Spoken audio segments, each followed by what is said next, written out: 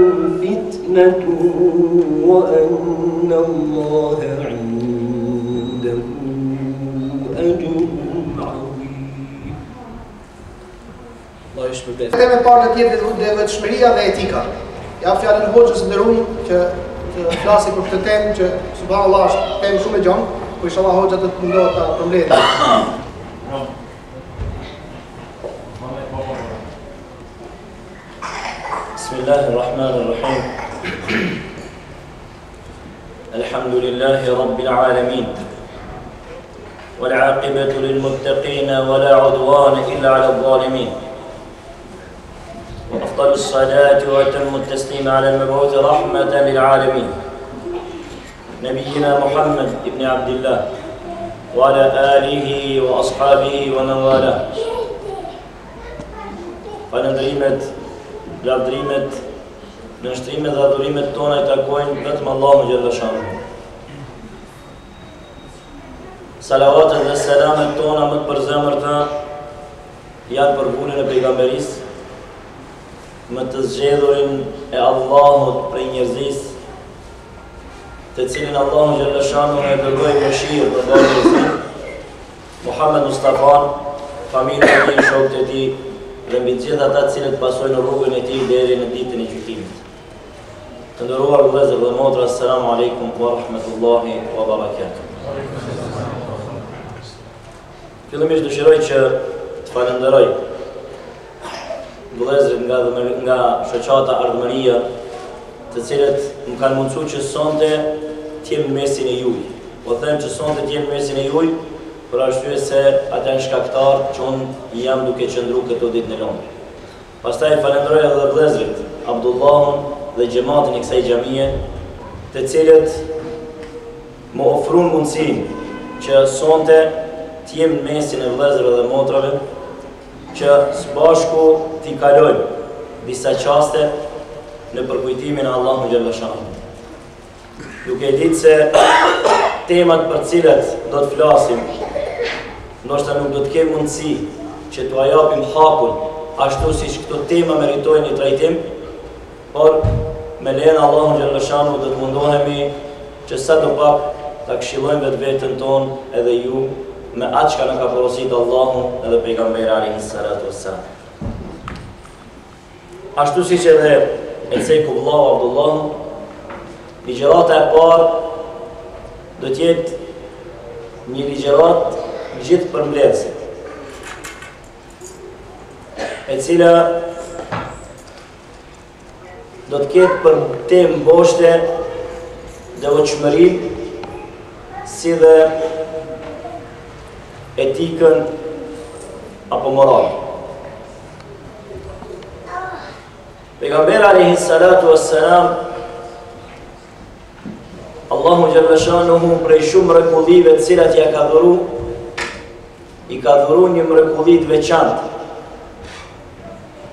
e cila e bën të dallohet edhe nga gjithë profetët e tjerë e të mos flasim për njerëzit. Kjo mrekulli që Allahu xhelleshanuhu ia ka dhonë, i ka dhuru Muhammedit a.s. janë fjalët gjithëpërfshirëse, apo Xhevamiul-Kelim. ku pejgamberi alayhi salatu wassalam me pak fjalë ka përmbledh këshilla të shumë. Prandaj pejgamberi alayhi salatu wassalam synim parësor të tij ka pas këshillën drejtuar shokëve të tij fillimisht e pastaj edhe gjithë njerëzve dhe besimtarëve në përgjithësi.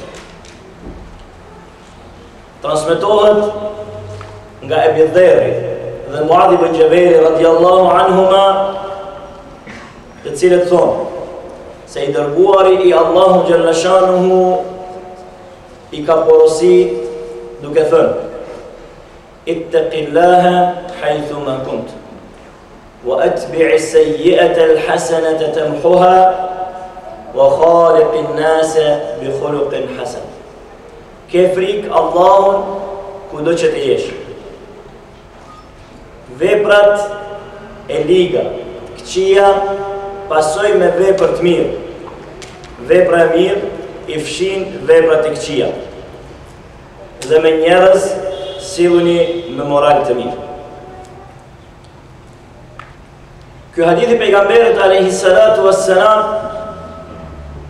apo kët hadith dhe kët këshill pejgamberi alayhi salatu wassalam ua ka dhënë këtyre dy sahabive të nderuar në momentin kur pejgamberi alayhi salam i ka dërgu misionar të tij i ka dërgu misionar të tij në Jemen. Allahu e shpërbleftë. Dhe, pejgamberi alihi salatu wa selam, kur i ka dërgu, Ebi Dherrin, edhe Muadhin, radhi Allahu anhuma, ata kanë kërku nga pejgamberi alihi salatu wa selam, që t'i këshillojë. T'i këshillojë se si të sillen. Edhe për atë pejgamberi alihi salatu wa selam, i ka këshillu me këto këshilla. Këto këshilla të pejgamberit alejhi selam kanë ardh në forma të ndryshme të transmetimit, e që një prej formave të transmetimit është se Muadh ibn Xhebeli edhe Ebi Dherri radhiyallahu anhuma kanë thanë O i dërguari i Allahut Më mëso diçka, të cilën kur ta veproj do të më afrojë tek xheneti dhe do të më largojë nga xhehenemi. Atëherë pejgamberi alayhi salatu wassalam u ka thënë Idha amilte sejjeten, i ka, ka thonë, idha amilte sejjeten, fa amel haseneten, fa inneha ashru emthaliha. Nëse e bon një vepër të keqe, Pas saj, vepro një vepër të mirë, sepse ajo vepër e mirë është sa dhjetëfish vepra të cilën ti e ke tejkalu.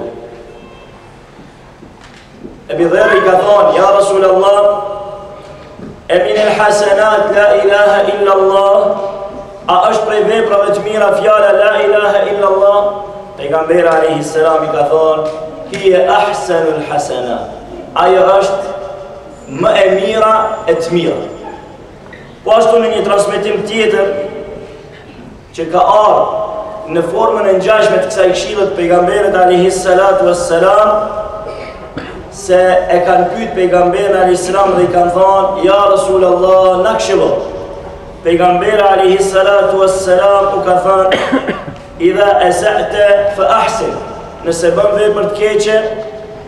Atë pasoj me vepër të mirë.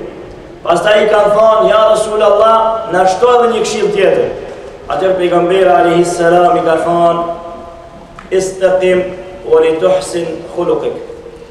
Qëndo fort në fe dhe përmirëso moralin tënd. Dhe këto transmetime të ngjashme të cilat të gjitha janë me kuptim të njëjtë, Neve na japin të kuptojmë atë se pejgamberi alayhi salatu wassalam qëllim parsor e ka pas që shokët e tij, sahabët e tij t'i drejtojë në vepra të mira. E vepra më e mirë që robi Mund ta veprojë dhe ta bëjë është devotshmëria apo takvalluk. Devotshmëria sikur që e dini, është këshilla e të gjithë profetëve të Allahut xhelleshanuhu. Sepse të gjithë profetët e Allahut xhelleshanuhu, të gjithë të dërguarit e Allahut xhelleshanuhu i kanë këshillu popullin e tyre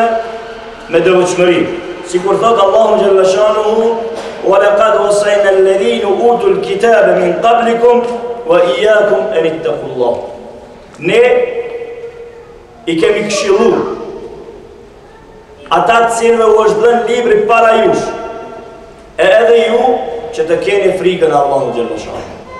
Pra, devotshmëria nuk është këshillë vetëm për ummetin e Muhamedit alayhi salam, por devotshmëria takvalluku është këshillë e Allahut xhelleshanuhu për gjithë njerëzit, për gjithë ummetet të cilat kanë kalu para ummetit Muhamedit alayhi salam.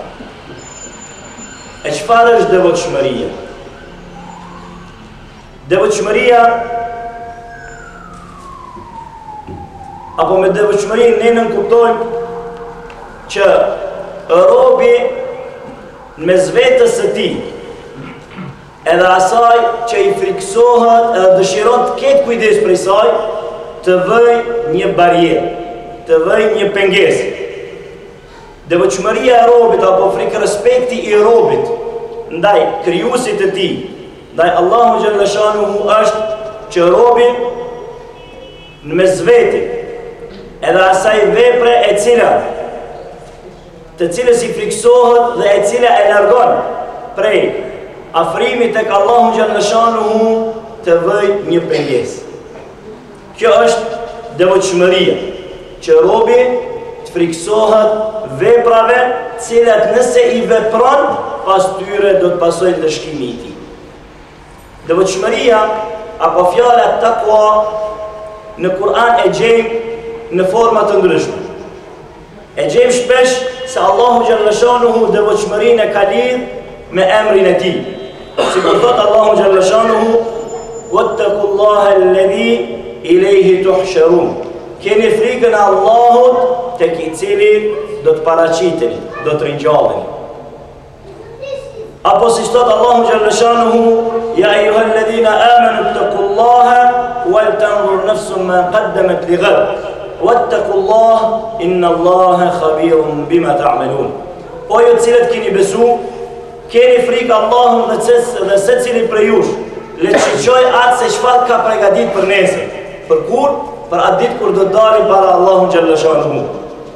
Keni frikë Allahun, sepse Allahu është hollësisht i njoftuar për atë çfarë ju veproni. Ulemaja kanë thënë, dijetarët kanë thënë se kur Allahu xhallashanu e lidh devotshmërinë me emrin e tij, kjo nënkupton o robtë e mi, o besimtarë, keni frikë, keni frikë Nga ato vepra të cilat Allahu xhallashanuhu ua ka ndalu t'i veproni, mos i veproni. Keni frikë, atë që Allahu xhallashanuhu u ka urdhru që ta punoni, veprojeni atë. Andaj, robi, kur e gjen emrin e Allahu xhallashanuhu, të ndërlidhur me devotshmërinë e nënkupton me këtë se nëse veprojnë ndonjë vepër e cila është e ndaluar, atëherë Allahu xhalla shanuhu po na tërheq vërejtjen nga ndëshkimi i tij. Keni frikë ndëshkimin të Allahu xhalla shanuhu për veprat të cilat jeni duke i vepruar. E Allahu xhalla shanuhu në Kur'an thotë: "Huwa ahlu taqwa wa ahlu al-maghfira." Allahu xhalla shanuhu është ai i cili meriton që të kemi frikë respekt ndaj tij dhe ai është i cili Falë, është posedues i faljes.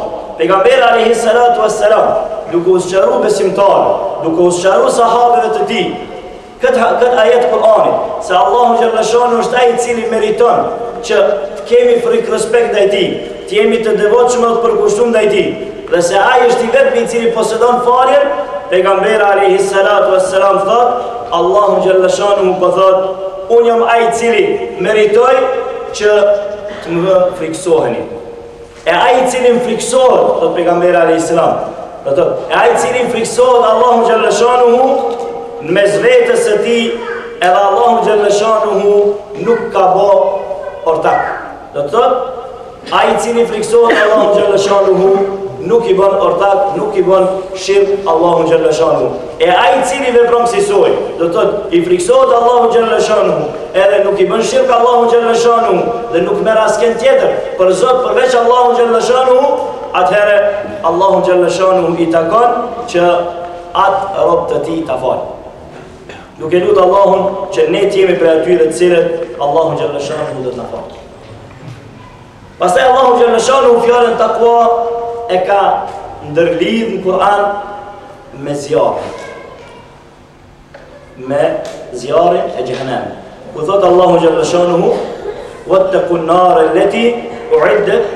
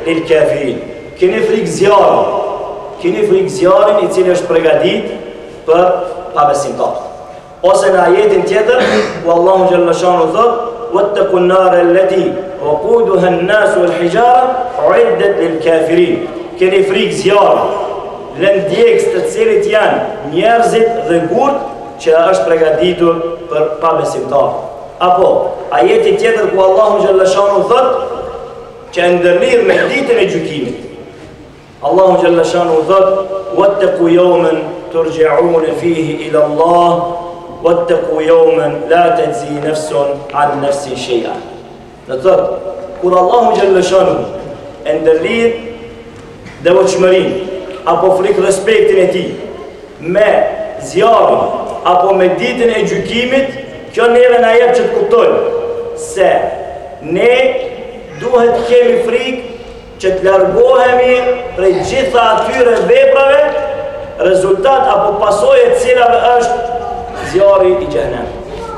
Prandaj kjo është devotshmëria që Allahu xhallashanuhu e ka ndërlidh kët me fjalën e tij edhe me ndëshkimet e tij dhe me ditën e gjykimit.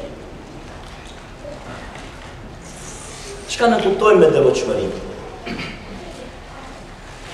Në devotshmëri hyn kryerja e të gjitha obligimeve të Allahu xhallashanuhu dhe largimi prej gjitha atyre ndalesave me të cilat na ka ndalu Allahu xhallashanuhu. Sikur që në devotshmëri hyn Edhe largimi prej atyre gjërave të cilat janë të urrejtura tek Allahu xhalla shanuhu. E ai i cili largohet edhe atyre gjërave të cilat janë të urrejtura apo janë të dyshimta, kjo është kulminacioni i devotshmërisë së robit. Janë dhanë definicione të ndryshme lidhur me devotshmërinë. Definicione për cilat nëse do të fillonim t'i numëronim, do të na japin thuajse një kuptim të njëjtë. Do të përmendim disa prej definicioneve të devotshmërisë apo të takvallëkut, të cilat i kanë dhanë sahabët e pejgamberit a.s. dhe dijetarët. Ibn Abasi thotë, Muttaqun, apo të devotshëm, janë ata të cilët i friksohen Allahu xhallashanuhu. I friksohen ndëshkimit Allahu xhallashanuhu duke lënë atë çka e dinë se është pengesë e udhëzimit të tyre. Edhe shpresojnë mëshirën e Allahu xhallashanuhu duke vepru atë çka ka ardhë prej urdhrave të Allahut edhe prej sunetit të pejgamberit alayhis salam. Ndërsa Talk ibn Habibi radhiyallahu anhu e ka dhënë një definicion i cili mendoj se është prej definicioneve gjithëpërmbledhëse të takvallëkut apo të devotshmërisë. Talk ibn Habibi thotë: Devotshmëria është me punu Në respektin e Allahu xhallashanuhu, me i kry urdhrat e Allahu xhallashanuhu, me dritën e Allahu xhallashanuhu, duke shpresu shpërblimin prej Allahu xhallashanuhu. Dhe duke u largu prej ndalesave, apo prej mkateve të Allahu xhallashanuhu, me dritën e Allahu xhallashanuhu, duke pas frikë ndëshkimin prej Allahu xhallashanuhu.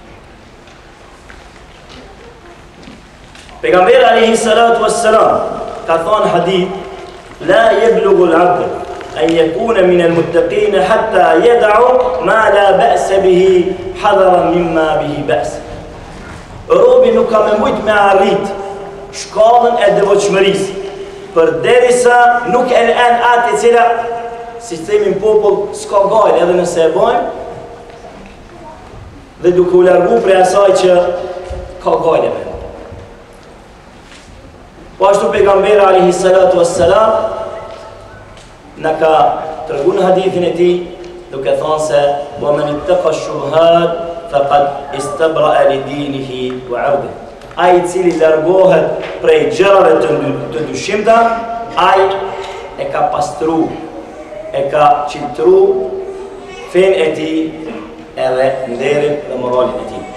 Prandaj, duke deshur që të shfrytëzojmë edhe prej kohës edhe të mos zgjatim më tepër, kjo është devotshmëria për të cilën pejgamberi alejhi salatu wassalam neve po na Tërheq vërejtjen po na këshillon për atë se si robi duhet të jetë i devotshëm. Pejgamberi alejhi salatu wassalam është një hadith tjetër i gjatë, të cilin e transmeton Ebi Dherri, dhe të cilin e nxjerr Ibn Hibani dhe të tjerë, ka thonë Ebi Dherri ka thonë ja Rasulullah, më këshillo. Pejgamberi alejhi salatu wassalam i ka thonë po të këshilloj me devotshmëri ndaj Allahut xhelle shanuhu, sepse kjo është kulminacioni i çdo çështje. Kjo është pika kulmore e besimit, është pika kulmore e devotshmërisë. Prandaj Për të qenë i devotshëm duhet që së pari të kemi parasysh se Allahu xhelle shanuhu është ai i cili na mbikëqyr. Të kemi parasysh se Allahu xhelle shanuhu është ai i cili i di veprat tona të hapta dhe të fshehta. Dhe atë që Allahu xhelle shanuhu na ka urdhru në Kur'an. Edhe atë që Pejgamberi alejhi salatu wassalam na e ka mësu neve në sunnetin e tij, ta veprojmë. Të mos lajmë asgjë prej saj. Aq sa kemi mundësi. Ndërsa atë që na e ka ndalu Allahu xhelle shanuhu edhe atë që na e ka ndalu Pejgamberi alejhi salatu wassalam, atëherë duhet që të largohemi prej saj. Siç ka thonë Pejgamberi alejhi salatu wassalam, Fettekullahe, tani. Ka thonë Allahu xhelle shanuhu në Kur'an thotë, Fettekullahe mestetatum. Keni frikë Allahun, aq sa keni mundësi. E kjo, aq sa kemi mundësi, është që ne, atë çka ka urdhnu Allahu xhelle shanuhu, atë që kemi mundësi me e kry, duhet ta kryjmë. Ndërsa, atë që e ka ndalu Allahu xhelle shanuhu, duhet të largohemi prej saj menjëherë. Pejgamberi alejhi salatu wa salam në këtë hadith po na këshillon me devotshmëri, po krahas kësaj na ka mësu që krahas përpjekjeve tona që të jemi të devotshëm, krahas përpjekjeve tona që ne të arrijmë frikërespektin kulmor ndaj Allahut xhelle shanuhu të mos harrojmë që T'i drejtojmë Allahu Gjelle Shanuhu lutjet, ashtu si që na ka mësu vetë pejgamberi Alehi Selam, kur ju ka drejtu Allahu Gjelle Shanuhu me lutjen të cilën e ka mësu duke thonë, Allahumme inni eseluke l'huda, wat-tuka, wa l'iffete wa l'gina. O Allah, kërkoj nga ti që të m'japësh udhëzim, dhe devotshmëri, pastërti, nder edhe pasuri. Prandaj, krahas përpjekjes për devotshmëri, të mos harrojmë se udhëzimi dhe frikërespekti ynë ndaj Allahu Gjelle Shanuhu është në dorën e Allahu Gjelle Shanuhu dhe ta lusim Allahu Gjelle Shanuhu që të na bëjë prej atyre të cilët janë të devotshëm dhe kanë frikë Allahu Gjelle Shanuhu.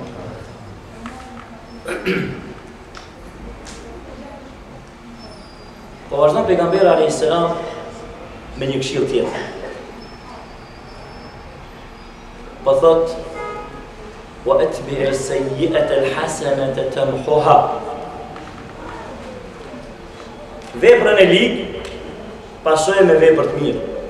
Se ajo e mira e fshin atë të ligën. Sigurisht dikush po mundet me dalë edhe me pyetje se po Allahu po na porosit me kon të devotshëm, po na porosit mos me bo gjyna, po na porosit që haramit me ju largu, edhe me kry krejt atë çka ka urdhëruar Allahu xhalla shanuhu. E pse tash pejgamberi alayhi salam po thotë nëse bën vepër të ligë, nëse bën një vepër të keqe, bën vepër të mirë mas saj. S'ka dyshim, të nderuar vëllezër dhe motra se. Allahu Gjelle Shanuhu po na urdhnon që të kemi frikërespektin e tij, kur jemi në vetminë tonë, kur jemi vetëm me krijuesin tonë. Por, po na porosit që të kemi frikërespekt edhe kur jemi në mesin e njerëzve. Por, porosia dhe urdhri, Për devotshmëri dhe frikërespekt nuk nënkupton se robi është i mbrojtur prej mëkatit. Nuk nënkupton se robi s'ka me bo lëshime dhe gabime në jetën e tij.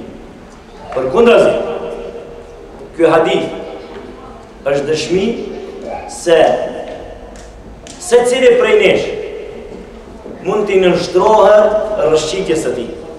Mund t'i nënshtrohet lëshimeve dhe gabimeve të mundshme në jetën e tij.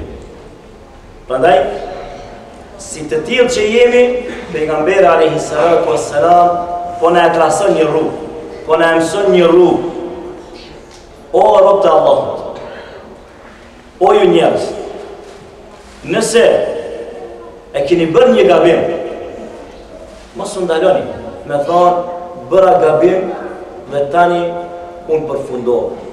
Përkundrazi, nëse ke bërë një vepër të keqe, nëse ke bërë një gabim, kthehu atë vepër tënden të ligë, të keqe, pasoje me një vepër të mirë. Sepse ajo vepra e mirë ka me e fshi veprën e ligë të cilën e kemi ba. E prej veprave të mira, të cilat Allahu xhelle shanuhu i ka bo shkak të mbulimit të mëkateve tona. Apo, që Allahu xhelle shanuhu përmes tyre, na i fshin mëkatet tona, është namazi.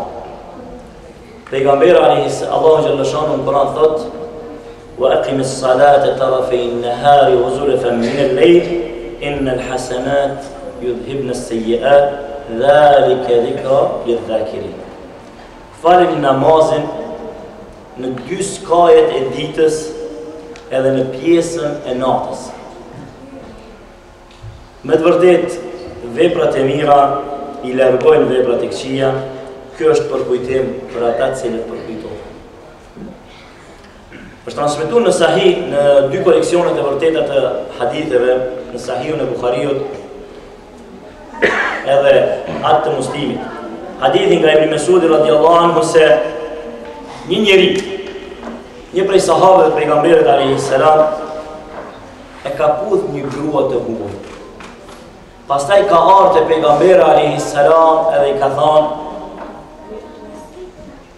duke ja tregu ngjarjen, i ka thonë ja Rasul Allah, kam bon një mkat, ekzekutom për atë që kam bon. Ma jep ndëshkimin të cilin e kam, për veprën të cilën e kam vepru. Pejgamberi alejhi salatu ve selam, ka heshtë. Pastaj, Ka zbrit ky ajet të cilin Allahu xhalla shanuhu po thot Inna al-hasanat yudhibna as-sayyi'at. Veprat e mira i fshin veprat e liga. Në një transmetim ka ardhur se pejgamberi alayhi salatu wassalam ka hesht. Pastaj ai prap i ka thënë pejgamberit, "Ja Rasulullah, ekzekutom se kam bon një vepër që duhet m'u ekzekutu." Kam bo një mkat. Pejgamberi alejhi selam ka hesht, derisa ka ardh koha e namazit. Janë ngrit edhe janë falë. E pastaj ka zbrit ky ajet, edhe kur përsëri ky ka insistu te pejgamberi alejhi selam, duke i thonë që ta ndëshkojë për veprën të cilën e ka bo, pejgamberi alejhi selam e ka pyt dhe i ka thonë,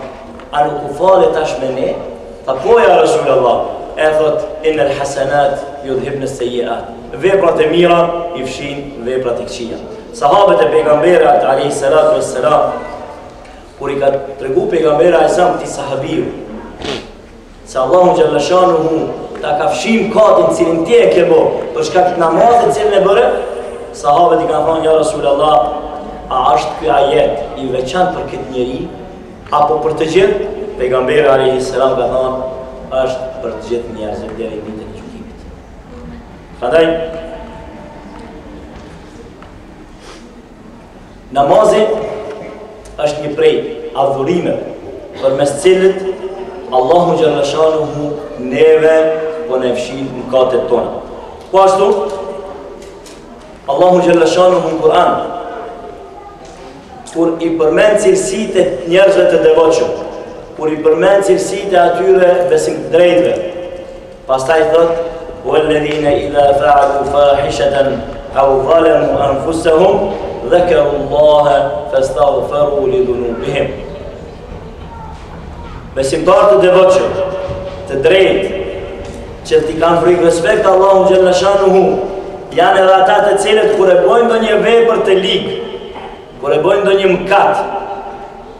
Apo i bëjnë padrejtësi vetvetes së tyre, e përmendin Allahun xhelle shanuhu. E përmendin Allahun xhelle shanuhu dhe kërkojnë falje për mëkatet e tyre. Ve men jagfirudh-dhunube il-lallah. E kush është ai i cili i fal mëkatet përveç Allahut xhelle shanuhu. Po ashtu, pejgamberi alejhi salatu ve selam në hadithin tjetër thotë E keni pa sikur ndokush prej jush, para shtëpisë së tij ta ketë një lumë, tek i cili do të pastrohej 5 herë në ditë, a do të mbetej në trupin e tij ndonjë prej ndytësirave. Shokët i thanë, jo ja Resulallah, tha, kështu është çështja e namazit, nuk len në shpirtin e besimtarit asnjë ndytësi, asnjë papastërti, asnjë mëkat.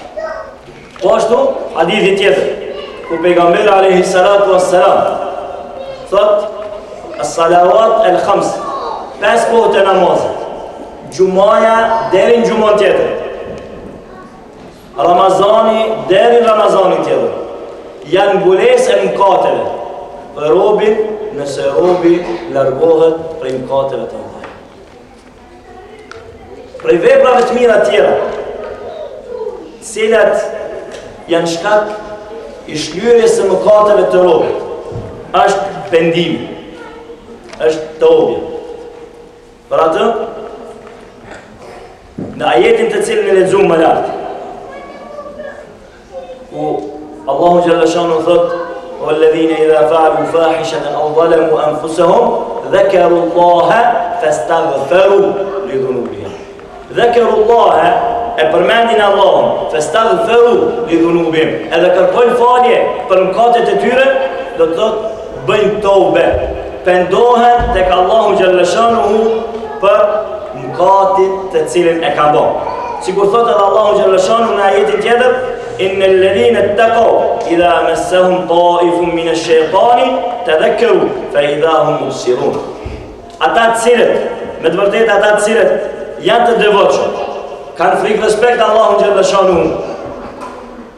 Nëse ata i prek ndonjëçka prej djajve, do të thotë i mashtron djalli, shejtani i mashtron ata, tedhekkeru.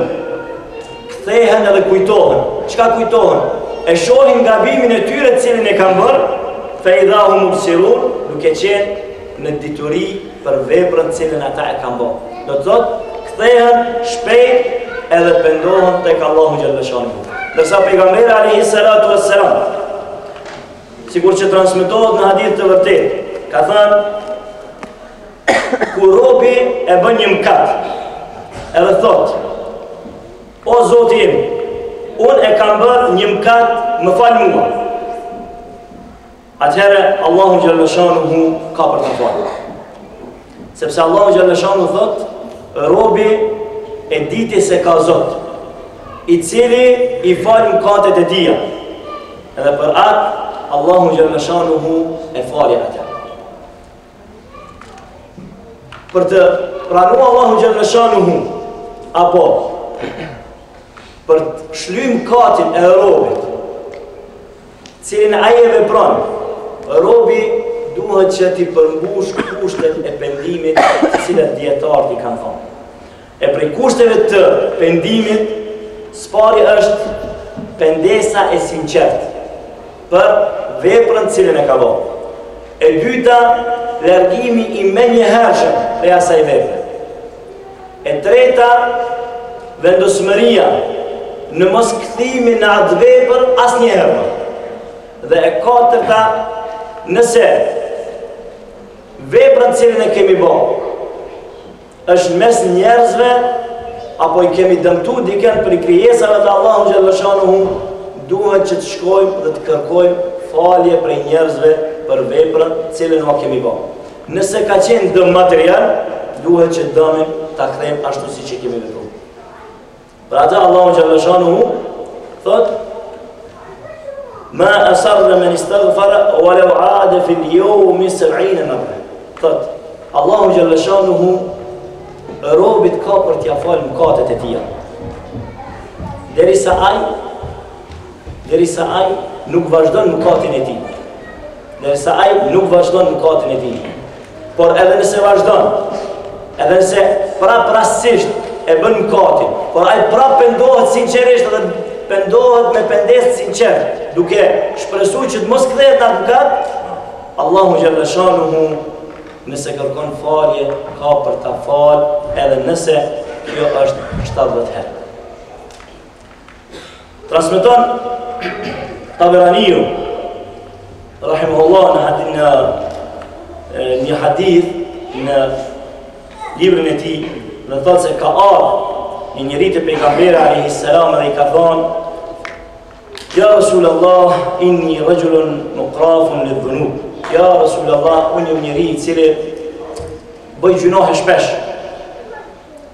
Pejgamberi alejselam i ka thonë, pendohu tek Allahu xhelle shanuhu.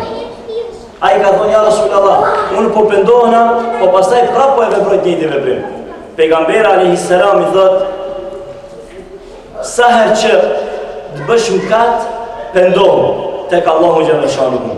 Ai prapë i tha, ja Rasul Allah, e nëse une shpeshtoj me mkatin, edhe nëse unë vazhdoj që shpesh me bo mkatin, pejgamberi alejhi selam i tha, sa herë që ti të mkatosh, e të kërkosh falje prej Allahut xhelle shanuhu, dije se falja e Allahut xhelle shanuhu është ma e madhe se sa mkati. Pra, nëse robi ka bo një mkat, nëse robi ka bo një mkat, çfarëdo qoftë ai mëkat? Le ta di se falja e Allahut xhelle shanuhu është ma e madhe se sa mkati të cilin ai e ka bo. Se sa mkati të cilin ai e ka bo. E dini fare mirë hadithin për të cilin pejgamberi alayhi salatu wassalam Thotë se një njeri në kohën e beni Israilve i ka mbyt 99 njerëz.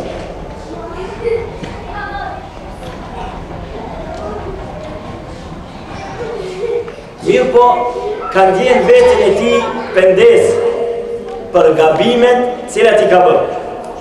Dhe ka shku te njeriu më i dijshëm i asaj kohë që të kërkojë nga ai udhëzim për faljen e Zotit. Kur shkon tek ai te një prej priftërinjve të asaj kohë, i thotë se i kam vra 99 njerëz, a ka falje për mu, a ka shpëtim për mu. Abdurrahman,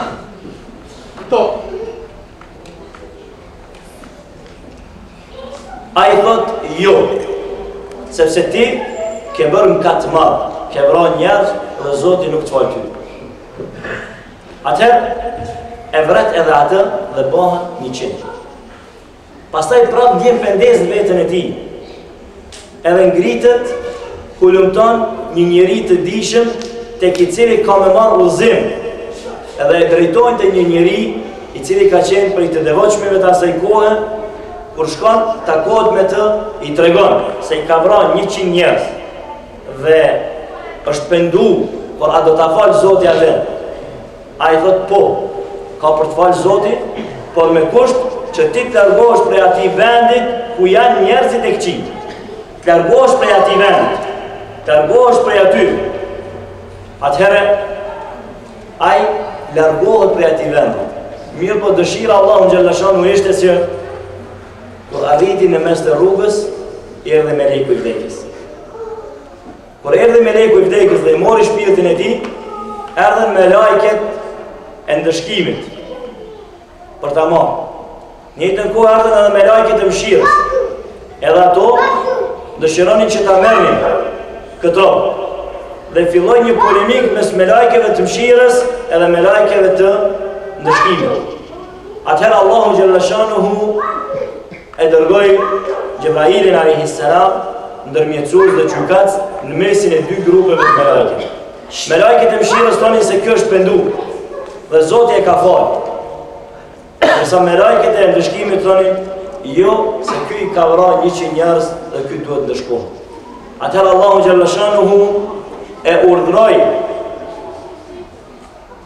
Dy grupe e dërgoi melekun Xhibrail alejhi selam gjykatës mes dy grupeve të melaikeve dhe i urdhëroi që të masin tokën. Nga cilës tokë, më afër cilës tokë është ai apo trupi i tij, ai do të jetë me atë grup njerëzish. Thonë transmetimet se Allahu xhelle shanuhu e ka urdhëru tokën e njerëzve të mirë që të afrohet ndërsa tokën e njerëzve të këqij që të largohet. Dhe kur kanë bo matjen, kanë gjetë se për një pëllëm dore ka qenë më afër banorëve të fshatit të mirë dhe kanë marrë melajket e mshirës. Ky hadith i pejgamberit alayhi salatu wassalam neve na jep t'kuptojmë se sa do që të jetë mëkati i madh. Allahu xhelle shanuhu nëse robi pendohet sinqerisht prej atij mëkati ka për ta falë.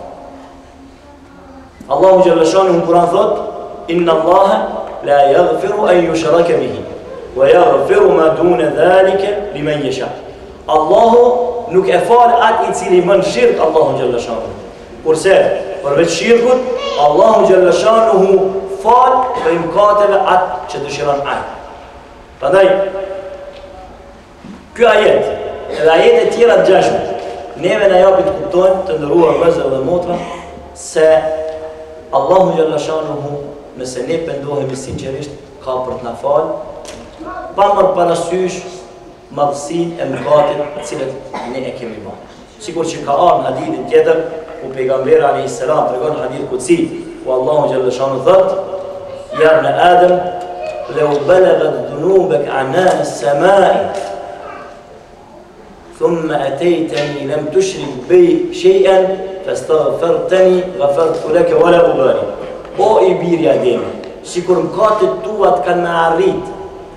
Kupën e qiellit. E ti vjen më takon mu duke mos më bë shirk mu. Edhe ke kërku falje prej meje, unë kam me të falë edhe nuk mërzitna hiç.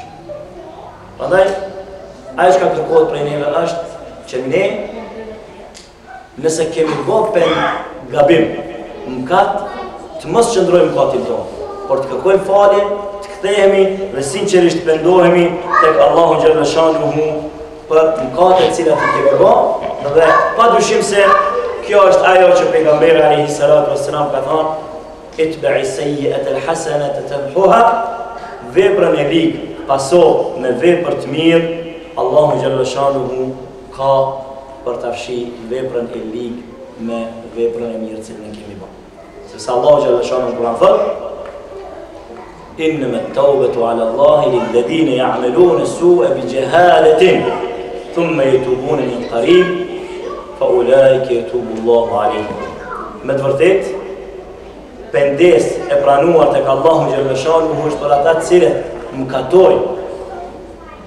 pa qëllim, mëkatojnë me gabim, apo nga padituria dhe injoranca e tyre, pastaj kthehen dhe pendohen tek Allahu xhelle shanuhu shpejt, duke mos qëndru në mëkate, me të vërtetë, ata janë ata të cilët Allahu xhelle shanuhu do ta pranojë pendesën e tyre.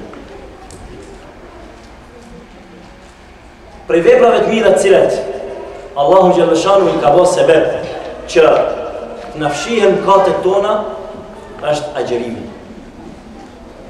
Pejgamberi alayhi salatu wassalam na ka pru shumë hadithe për me na tregu se Allahu xhelle shanuhu përmes agjërimit na i fshin mëkatet tona.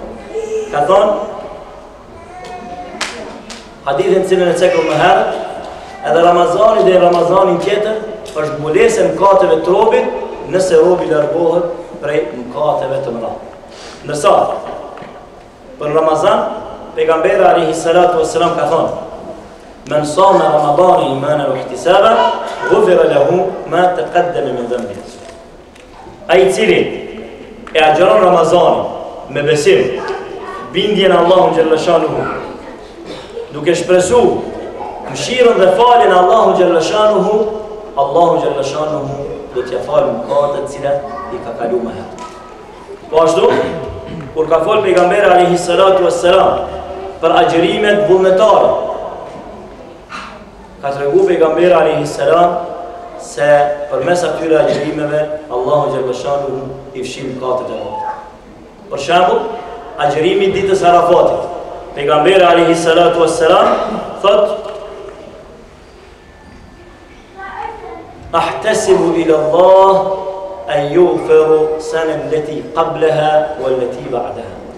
Thotë kush agjeron ditën e Arafatit, thot pejgamberi alejhi selam, kam shpresë tek Allahu xhelleshanuhu se do t'i falen mkatet e vitit që ka kalu edhe vitit i cili do të vjen. Pastaj, për ditën e Ashuras, pejgamberi alayhi salatu wassalam ka thënë se Allahu xhelleshanuhu do t'ia fal mëkatet e vitit i cili ka kalu. Prandaj, Prej veprave të mira, të cilat i fshijnë mëkatet e robit është edhe agjërimi. Tjetër vepër e mirë, e cila i fshin mëkatet, është dhikri apo përmendja e Allahut xhelleshanuhu. Të përmendim Allahun xhelleshanuhu. Ne e pamë hadithin më herët, ku pejgamberi alayhi salatu wassalam është pyt prej Ebu Dherrit, ja Rasulullah, A është fjala la ilaha illa Allah prej hasenateve, prej veprave të mira? Çka ka thonë? Ka thonë, ajo është prej veprave më të mirë. Dhe për atë pejgamberi alejhi salatu wasalam ka thonë, kush thot la ilaha illa Allah wahdahu la sharika leh, lehu l-mulku wa lehu l-hamdu, juhji wa jumit, wa huwa ala kulli shejin qadir, çdo ditë, njëqind herë, ajo do t'i llogaritet sikur me i liru dhet robë. Do t'i shënohen një mijë të mi, njëqind të mira, do t'i fshihen njëqind, njëqind vepra të këqija të liga dhe do të jetë mbrojtje prej shejtanit gjatë gjithë ditës së tij. Dhe askush, thot pejgamberi alayhis salam, nuk ka ardh me një vepër më të mirë se ai, përveç atij i cili vepron sikur ai apo më shumë se sa ai. Po ashtu pejgamberi alayhi salatu wassalam ka thënë kush thot subhanallah wa bihamdihi çdo ditë 100 herë do t'i fshihen mëkatet e tij po sikur që janë të jenë ato edhe sa shkuma e detit. Thot Pejgamberi alejhi salatu ves selam edhe përmes dhikrit dhe përkujtimit të tij neve po na tregon se Allahu xhelle shanuhu do të na fshi mëkatet tona. Vazhdon pejgamberi alejhi salatu ves selam me këshillën e tij të tretë dhe të fundit, kërkoj falje ndoshta për shkurtesat, por për shkak edhe të kohës. Thot pejgamberi alayhi salam, "Wa khaliqin nas bi khuluqin hasan." Me njerëz silluni me moral të mirë. Çfarë ka pas nevojë që pejgamberi alayhi salatu wassalam me na veçu Këshillën për moral të mirë, kur kishte me mjaftu këshilla për devotshmëri. Për arsye se morali i mirë është prej cilësive të devotshmërisë. Etika, edukata është cilësi e njerëzve të devotshëm. Pejgamberi alayhi salatu wassalam e ka veçu përmendjen e moralit të mirë në këtë hadith për shkak të nevojës së kohës në cilën edhe vendit në cilin Pejgamberi alejhi salatu ves selam e ka thënë në mënyrë që njerëzve t'u sqarojë se devotshmëria nuk mund të jetë e plotë pa moral të mirë. Andaj, e dini fare mirë se Ebu Dherri edhe Muadhi radijallahu anhuma, kanë shku n'Jemen. Jemeni kanë qenë të krishterë.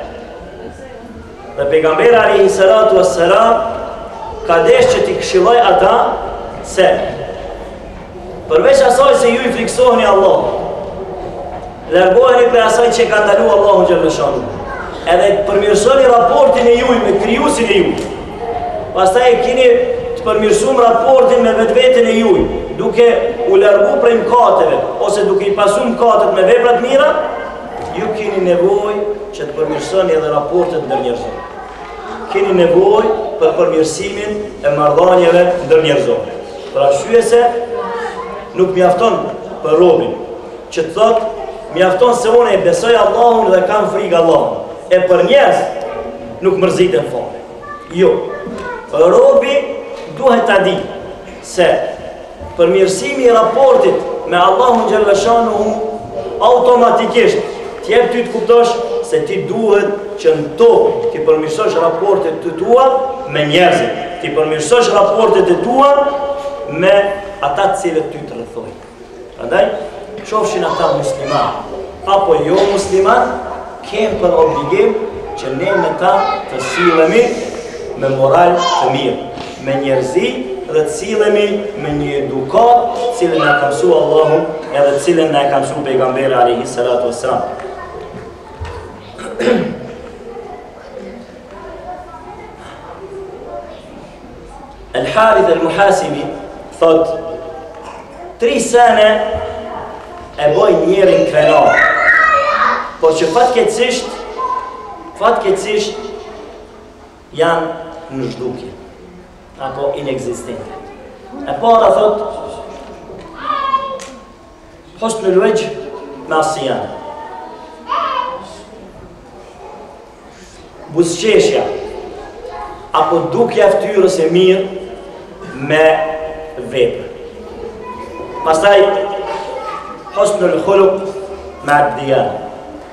Moral i mirë i bashkangjitun me praktikimin e fesë. Wa husnul ikha ma'al amana. Edhe vëllazëria e mirë me besnikëri. Këto tri sende sikur po don me na thanë se Nuk i mjafton robit që vetëm anën e tij fizike të jashtme ta ketë në rregull, kurse vepra e tij të mos e dëshmojë atë çfarë e ka anën e tij të jashtme.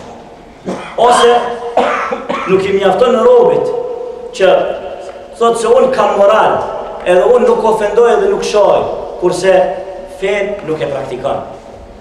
Ose thotë se unë e du dikend, e kam vla këtë ose atë, mirëpo besnikria mes atyre vllezërve nuk gjindet dhe nuk ekziston. Prandaj, ajo çka robin e bën krenar, ajo çka robin e bën aziz, me u ndi i lartësuar është kur ai anën e tij të jashtme edhe anën e tij të mbrendshme e ka të rregulluar. Kur me njerëz apo morali i tij është ai që buron nga devotshmëria dhe praktikimi i fesë së tij, edhe kur ai me vëllezërit e tij sillet me besnikëri. Kur ka besnikëri mes vëllezërve, atëherë kjo është ajo që robin e bën me u ndi krenar. Që do t'thotë jo rastisht Pejgamberi alejhi salatu ue selam, kur ka ardhë n'Medine, për mi ngri, për mi ngri besimtar, për mi afru besimtar, edhe m'i bo krenar ata, i ka vllazru ma s'pari ndërmjet veti. Andaj, prej moralit të mirë është që robi sillet mirë me njerëzit në përgjithësi. Disa prej selefit kanë thënë se Davudi alayhis salam është ndalë dhe është vetmu. Edhe i ka thënë Allahu azza wa jall atina. Ç'është me ty që je vetmu? Po ç'është që je vetmu? Ka thënë Davudi alayhis salam jam largu prej njerëzve ja Rabb për ty.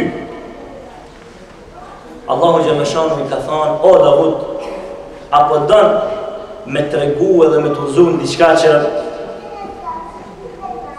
nëse e vepron, nëse e vepron, ke për mi gëzu fytyrat e njerëzve. Ka thonë, edhe me këtë ki me arrit knaqsinë time, thotë, Sillu me njerëz me moralin e tyre dhe bëre imanin tënd mburoj mes teje edhe tyre. Allahu Xhel-le shanuhu për me na tregu rëndësinë e moralit, për me na tregu rëndësinë e asaj se robi duhet të ketë moral dhe të sillet me moral, thotë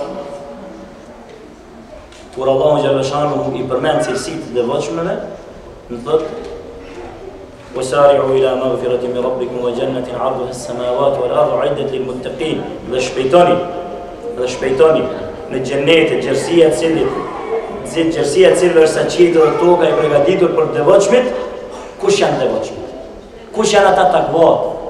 Tha, Elledhine junfikune fi serrai ue darra, janë ata të cilët shpenzojnë prej pasurisë së tyre fshehurazi, apo shpenzojnë prej pasurisë së tyre, kur janë në bollëk, kur janë në mirëqenie, por edhe kur janë në vështirësi.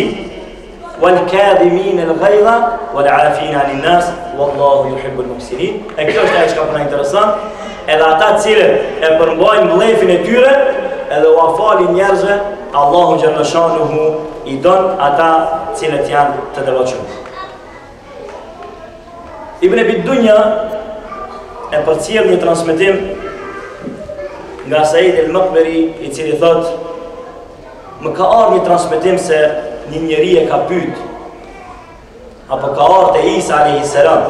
edhe i ka thonë, o mësus i mirësisë, më trego se si mundna t'jem i devotshëm për Allahun xhelle shanuhu, ashtu siç e meriton Allah, ashtu siç duhet me kon njeriu i devotshëm.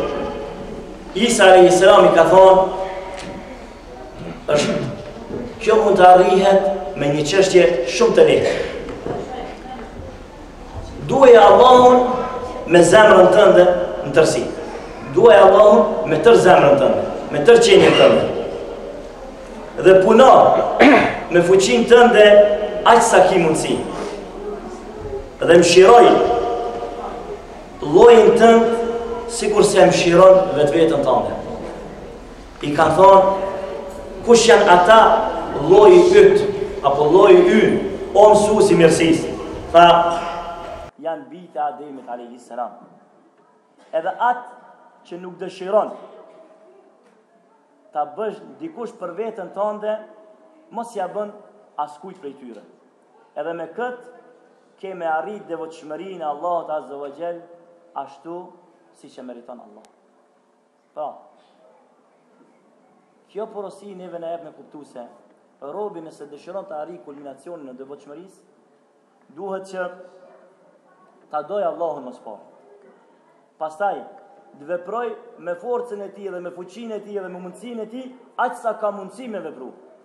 Edhe t'i mshirojë njerëzit, edhe të mos ua dëshirojë njerëzve atë të cilën nuk ja dëshiron vetvetes së tij.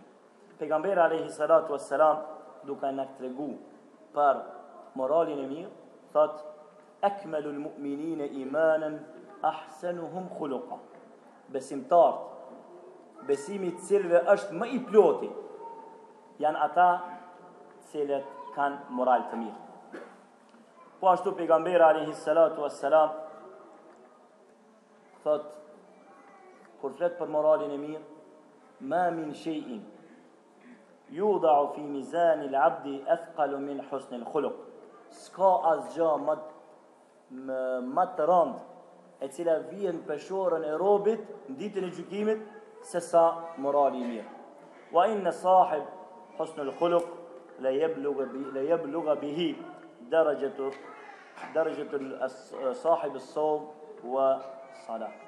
Në transmetime ka ardhë daraxhat al-saim wa al-qaim. Dhe ai i cili posedon moral të mirë, me moralin e tij të mirë arrin shkallën, gradën e atij i cili agjëron gjatë gjithë kohës, edhe ai i cili falet namaz natën. Dhe përfundimisht po du me e përmbyll me këtë hadith të pejgamberit alayhi salam ku pejgamberi alayhi salam thot ala ukhbirukum bi ahabbikum bi ahabbakum ila Allah wa aqrabukum minni majlisan yawm al-qiyama a po doni me ju tregu se cili prej jush është më i dashur tek Allahu xhalla shanuhu edhe më afër nga unë nesër në ditën e gjykimit Kanë thonë, gjithsesi, ja Resulallah, atëherë tha pejgamberi alayhi salam, ahsenukum huluka. Ai i cili prej jush ka moralin më të mirë. O Allah, krijuesi i gjithësisë, na mundëso që të arrijmë devotshmërinë ndaj teje. Na mundëso që raporti ynë me ty të jetë i shëndoshë dhe të jetë dashuria jote tek ne përpara çdo dashurie tjetër.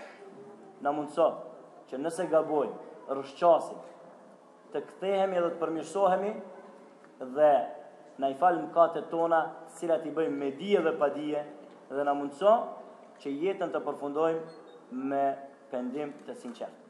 Dhe na mundëso, o Zot i Gjithësisë, të jemi ata të cilët përmes moralit tonë nesër do të jemi afër pejgamberit alayhi salatu wassalam në xhennet së bashku me pejgamberët e tjerë, me njerëzit e mirë dhe të devotshëm, e them këtë çka dëgjuat nga unë.